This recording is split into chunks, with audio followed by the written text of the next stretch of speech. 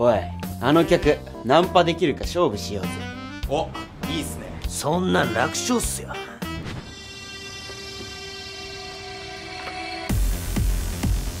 あそれ面白いですね。でもこっちの方が面白いです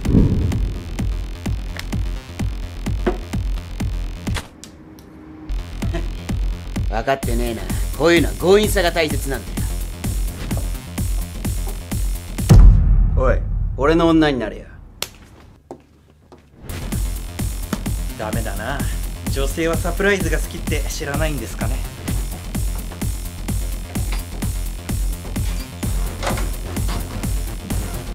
あのー、好きです。お前キモすぎだろ。ちょっとあんたたちさっきから何なの？誰が口説けるか勝負してただけなんで。別に本当に好きなわけじゃないっすよ。それにしてもお姉さん見る目ないっすね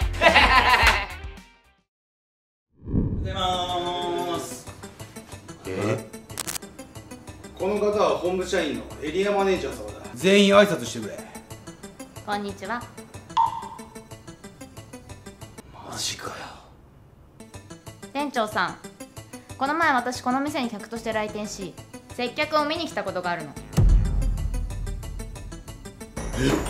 そうなんですか？そこでその3人は私に対して恐喝に覗きに名誉毀損。逮捕されてもおかしくないような接客をしてくれた。のお前ら本当なのか？すいませんでした。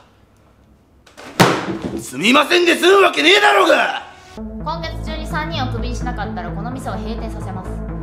えそんな自業自得だよおめえら。ざまあねくそついてねえな。でも考えてみると3人で別のところで働くのもありなんじゃねえか。いいっすねそれ。ってことは今月の俺たちの残りのシフト失うもんがないってことっすね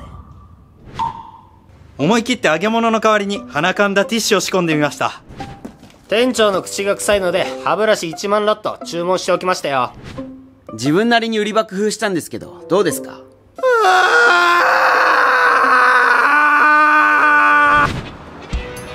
最後に店長に仕返しもできたし思い残すこともねえな。今日でこの店ともおさらばですからね。おちょうど来てるな本部の人。それで決まりましたか？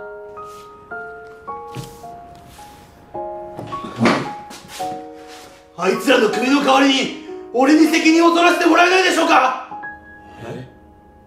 あいつらは本当に大バカ野郎です。でもまだまだ成長過程なんです。あいつらにはもっとここで学ばせてやりたいんです。だから俺に責任を取らせてもらえないでしょうか？お願いします！お願いします！わかりました。そこまでおっしゃるのであれば今回は店長さんの責任ということで終わりにしましょうありがとうございます。ありがとうございます。店長こんなのおかしいですよ。見てたのか。なんでなんですか？なんで俺たちなんかのために？それが店長の仕事なんだよ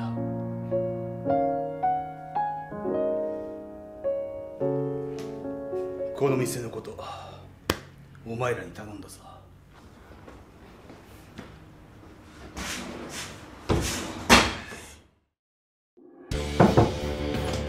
失礼します。おうよっしゃシフトの空いてるところ全部自分たちが入ります。あ？急になんだ？よ店長の思いは俺たちが引き継ぎます。くわかんない。それじゃあ頼むぞ。はいそれから俺たちは精一杯働いた。俺たちの責任を全てかぶってくれた店長のため店長の大好きだったこの店を守るために働いた。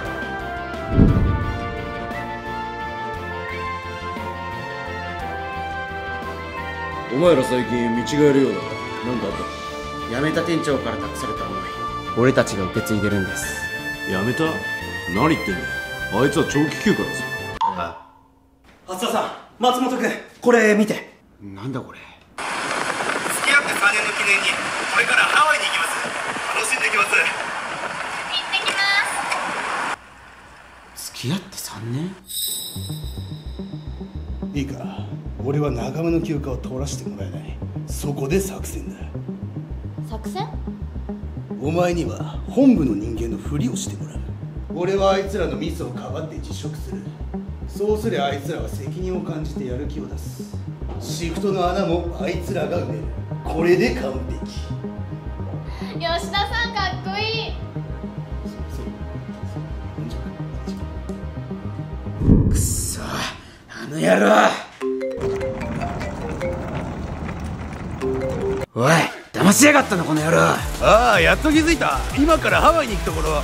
ふざけんな。今すぐ帰ってきやがれやだね。一度入ったシフトに責任を持つのがうちのルール。諦めなくっそ切られたどうやら騙されたみたいだな。一度入ると言ったシフトには最後まで入ってもらうぞ。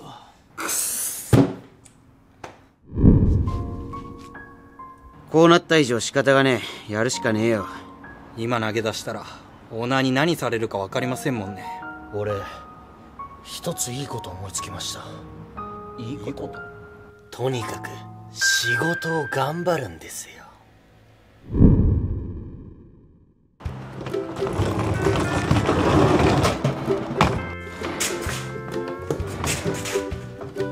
店長ただいま戻りました。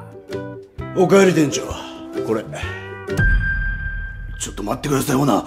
どういうことですか？店長がいなかった今月の売り上げがはち切れるほど黒字だったんですよそういうことだ。できればそのまま何年もハワイにいてくれていいぞ「